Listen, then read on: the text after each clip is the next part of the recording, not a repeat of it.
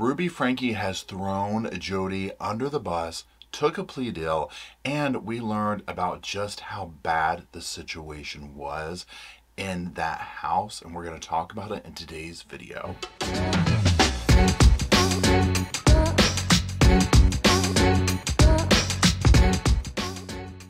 Sofa Squad, and welcome back to the sofa. Sofa's back there. Mr. Roscoe's holding it down. My name's Paul. Now, today we're going to be doing an update and commentary reaction to Ruby Franke's plea deal. Now, what we will do is before we get into it, I'll do a very quick 60 second overview of this case in case you haven't been following it, so you're kind of on board and get the context of what I'm talking about. Now, before we jump into everything, if you want to see what Roscoe and I do when we're not sitting here in the sofa with you hanging out, go on and follow me on the Insta, on the gram, on the Instagram. It's on the screen. It's not in the description below. We'd appreciate it. Uh, we'll see you there, hopefully, maybe. I don't know. Anyways, let's go ahead and get into that 60 second overview. Okay, so Ruby Franke at one point had a very successful YouTube channel. It was named Eight Passengers. It's a family vlog channel, and she was arrested and charged with crimes against her children after one of them escaped her business partner Jodi Hildebrandt's home and ran to a neighbor's. Now, this situation was not good, okay? It was obvious the kids had been restrained, they were malnourished, it was very bad. Now, Jodi, along with Ruby, were arrested and charged with numerous crimes, which we're going to get into those today. Now, Jodi was an alleged, and I'm talking major, major air quotes, life coach who seemingly coached people's lives into devastation. And person after person has come forward talking about how Jodi has destroyed their life, you know, or their family's life and just caused all sorts of drama. So all this information has come forth. So that being said, shockingly, her website is still up. So that's very quickly 60 second overview, the gist of what we're talking about here. It's way deeper than that,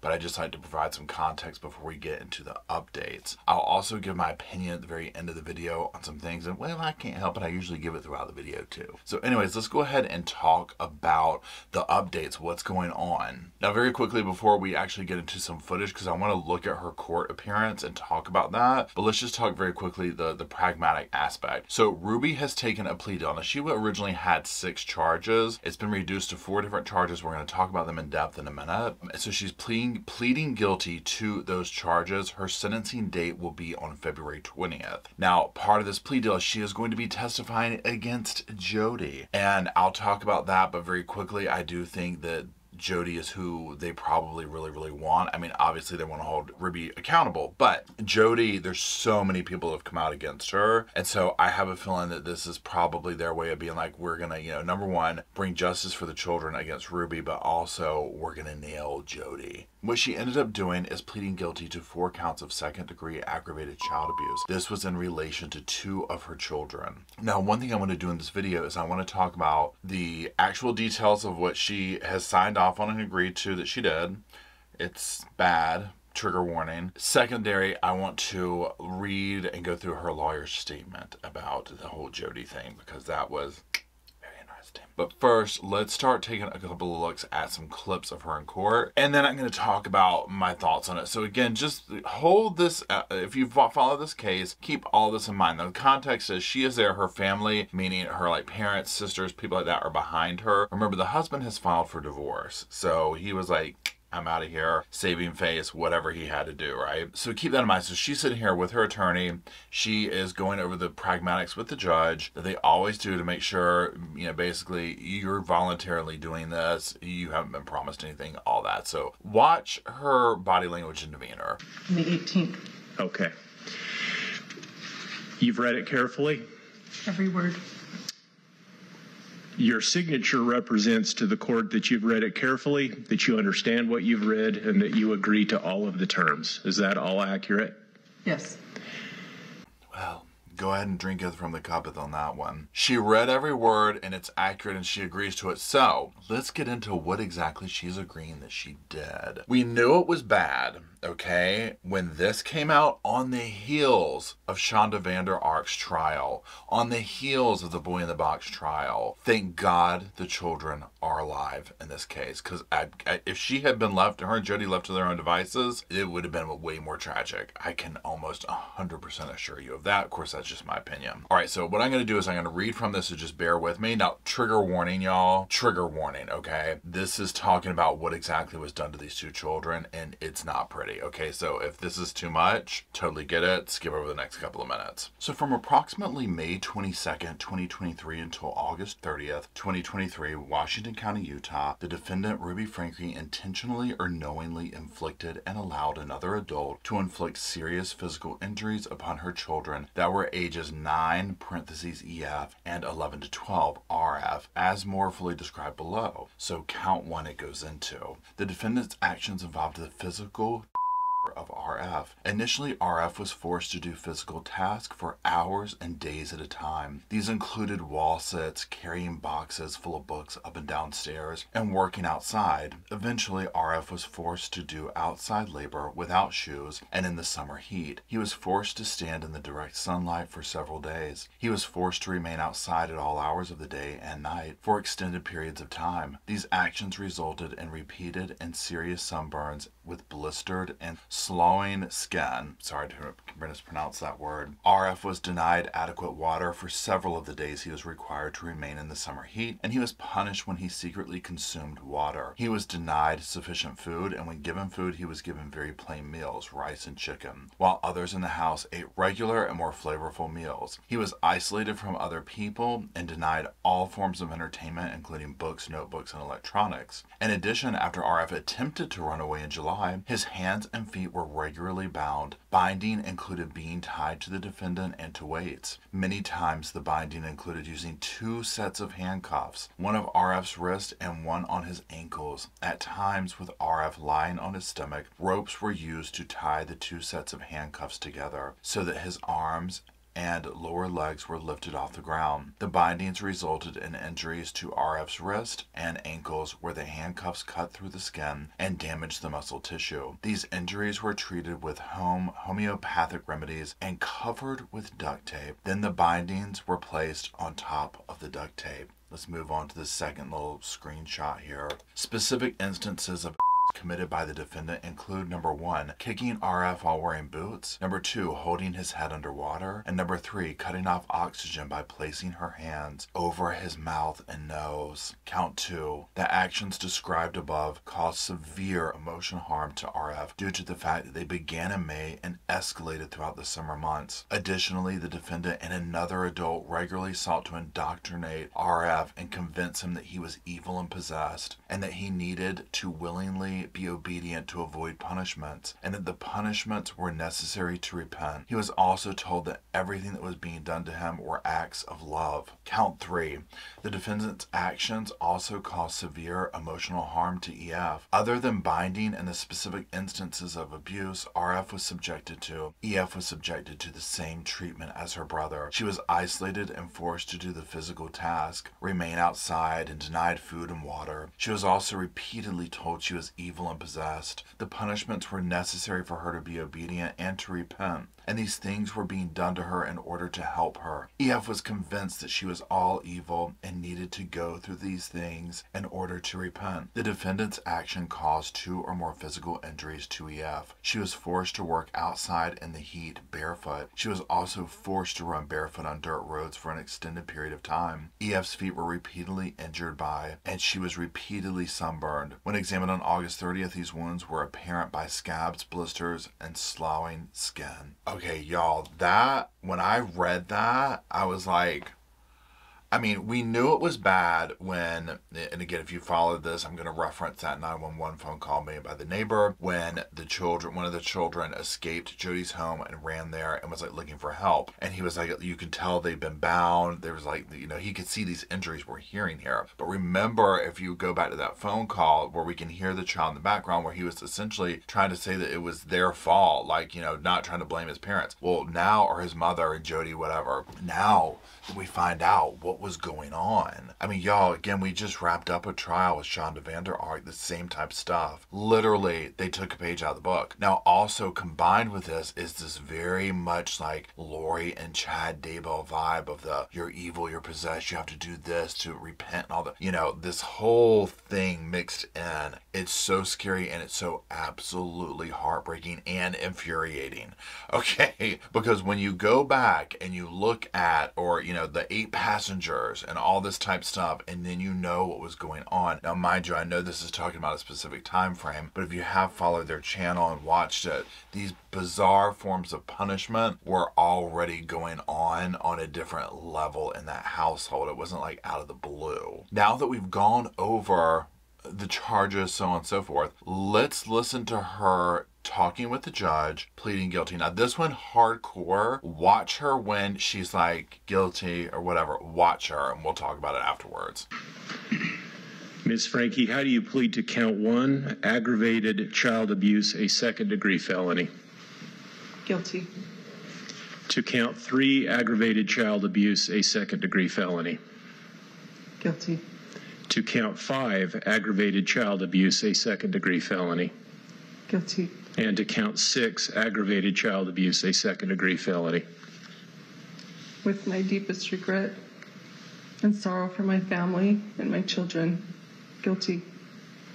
Can't roll my eyes hard enough. Drinketh from the cuppeth on that one if you've got yours ready. Here's my thing, and I'm not trying to sit here and say people can't realize, oh my God, I've made a mistake. I need to change, whatever, right? A hundred percent. We can probably all say that, right? Reading those things that we just read, and she's gonna sit up here now and make that face guilty, guilty, you know, and then try and slide that in there with my deepest regrets. No, you're upset because you got caught, okay? Because she was very high on her horse, doing all these things. Putting, I mean, she's put on social media, right? Maybe not these specific crimes that she's charged of, but the other stuff she put out there. Very proud of this bizarre behavior. Now, on that, what I want to do is I want to read the lawyer's statement about you know her what her thoughts are on Jodi and all that and then we'll talk about it more. Okay, so you'll see on the screen here it says Winward Law is making a statement on behalf of Ruby Franke regarding the pending charges in the Washington County 5th District Court along with her thoughts about her current family situation. Our client is working with the prosecutor's office and anticipates resolving this matter quickly by entering a plea agreement with the court on Monday, December 18th. Now it says, quote, Ruby Franke is a devoted mother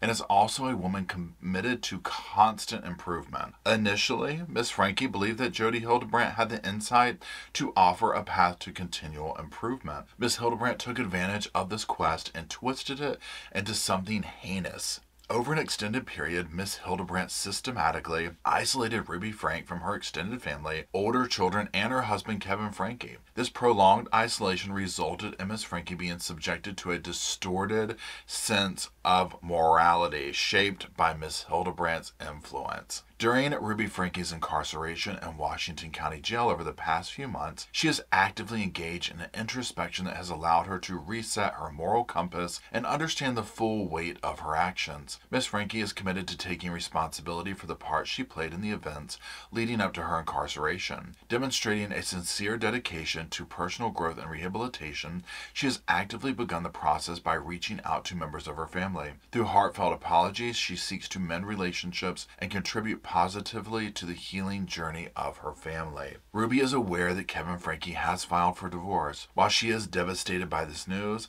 she acknowledges and understands his anger and reasoning. Despite the pain, she respects his decisions and remains hopeful that, with time, she can contribute to rebuilding trust and fostering understanding within their family. Ruby has offered her full cooperation to help the children reunite with their father. Winward Law recognizes the profound love that Miss Franke holds for her children, and we are genuinely saddened that she found herself on this challenging path under the influence of Miss Hildebrandt.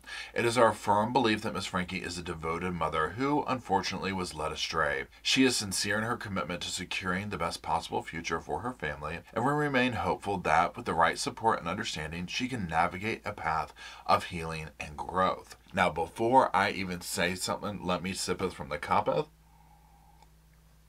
What about before Jodi?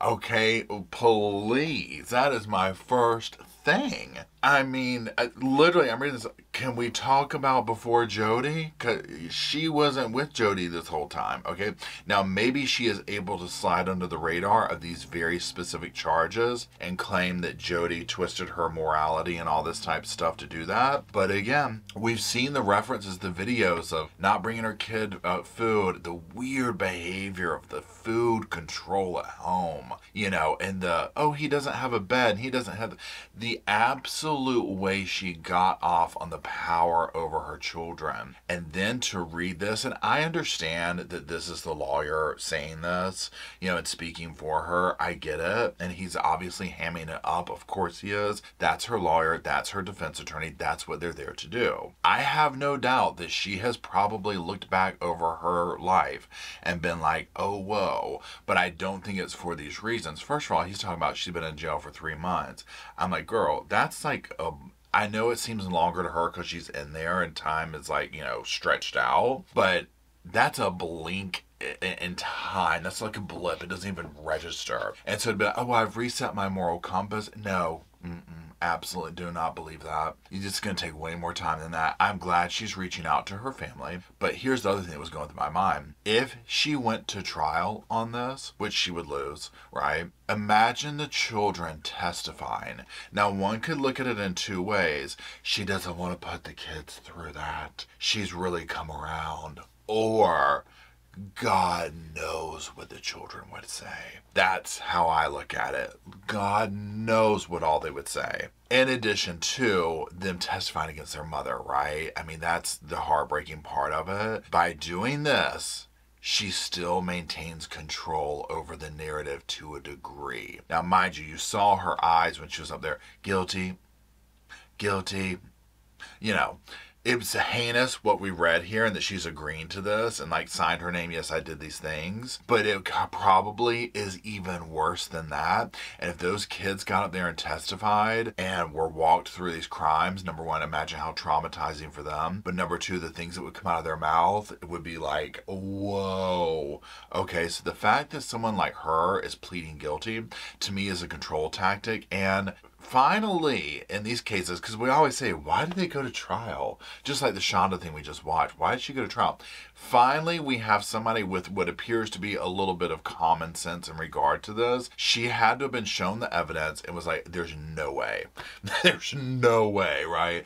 If I go to trial, my kids have to testify. They're going to say even worse things about me. And it's going to be really, really bad. And I'm going to go to prison for a really, really, really, really, really long time. So it was in her best interest to not not take this to trial, right? And it was in other people's best interest. You don't want your kids having to relive this trauma because, again, in my opinion, they would have some pretty nasty things to say about her. Now, this is, again, this is their mother. It is what it is. It's their mom. You know, they're probably going to want to reunite at some point. I mean, who knows? You know, it's a relationship that will be there forever. You know what I'm saying? And so I get that and hope whatever is best for the kids to heal and move on happens. Now, also in this conversation, the Jodi thing, again, this is my thought on the Jodi thing so many people have come out speaking against Jodi. She's twisted, okay? Point blank, period. So I 100% think that oh, what's her name, Ruby, is going to fall in line with all these other people. I thought she was this life coach. I signed up and systematically she just kind of brainwashed me and did all this type of stuff. You know, it's a very easy scapegoat, but Ruby was right there alongside of her. You know, so I view her just as guilty, but it's like if somebody has to go down, I think Jodi had more of a widespread reach on people, it seems, because so many people are just coming forth with these personal stories of these horrifying things that Jodi has done to them as a person. Neither of them are nice people, but Jodi has way more things that I'm like, this is like, I'm surprised she hasn't caught charges before. You know, same with Ruby though, with her kids and stuff like that. She's just lucky that she felt you know, didn't get charges before with things related like this to doing harm to children. Here's my thought. Do I think she'll go to prison? Yes. For how long? Who knows? I think it's cute that she wants to sit here and talk about I've been incarcerated for three months and changed my life realm. No. Ruby doesn't and still doesn't look like a well person. Even in the height of her eight passengers channel, she doesn't look well. And I don't know any other way to say that other than when I looked at those videos, the older videos, I was like, this is somebody who's going through something. And I'm not trying to sit here and put her down for that because many people can go through stuff, but also many people don't end up doing these horrific acts to their children while going through something. You know what I'm saying? They handle a little bit different way or monetizing their family. Another thing I thought was like, it wouldn't surprise me for her to try and monetize this situation once it's all said and done you know, I mean, that's what she's done, right? She monetized the family until that train wreck was a train wreck and she had to move on over to another grift. So I think she's definitely going to prison. It's just a matter of how long. And I think she probably needs to be in there for a minute. You know, because again, this kind of belief system that she went down that she's just talking about, oh, all of a sudden out of the blue, Jodi, you know, had me believe in this, that, and the other. Mm no, this doesn't happen overnight like that. I don't believe that one bit. Again, if you look at the evidence, if you look at all the older footage, all the other videos, and things like this, she was doing this bizarre treatment to her children a long time ago and it escalated and it 100% was going to end up in one of them losing their life. I mean, that's the thing. When you go down this rabbit hole, it, it's just that's what ends up happening. And it's frightening and thank God they're all alive and hopefully will be reunited with whoever they need to be reunited with. My jury is still out on Kevin. You know, I know that's the father. I really don't have much to say about him, you know, because that was a whole tawdry situation. I just feel like if both parents were this easily swayed and all this by Jodi, you know, it's concerning. So, anyways, that's it. If you're still watching, I greatly appreciate you watching all the way to the end of the video. I do thank you. Let me know what do you think. Do you think, uh, big questions here. Do you think she's going to go to prison? If so, for how long? And then, uh, just general opinions. What did you think of her, the crimes? What did you think of the lawyer statement? Do we think, I think Jodi's going away for a long time. I think that they are gearing up to take her down. And that is their thing. They're like, look, we want Jodi, like we want to get her for A, B, C, and D, and we're gonna take her down. So I think they've lined Ruby up to be their pawn for that, and it ain't gonna fare well for Jodi. Anyways, that's it. Roscoe, thanks you for being here. Roscoe says, please drop some sofas in the comment section so we can go down there and sleep and snore and do little Roscoe things. And until we do go down there to sleep, snore, and hang out with y'all and talk, we'll see y'all soon.